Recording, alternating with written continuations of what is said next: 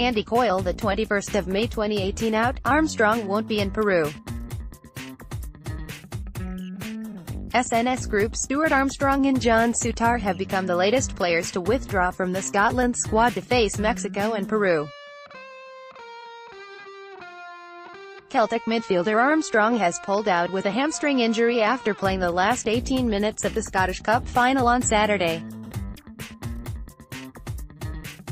Hearts defender Souttar misses out with a hip injury that saw him miss the last Premiership match of the season against Kilmarnock. Scotland boss Alex McLeish had allowed several players to miss the end-of-season trip and had included some new faces in his squad, including Souttar.